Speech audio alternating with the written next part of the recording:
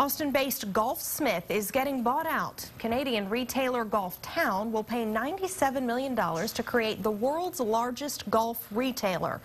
Golfsmith opened up back in 1978. There are 85 stores across the country. They will all keep the same name.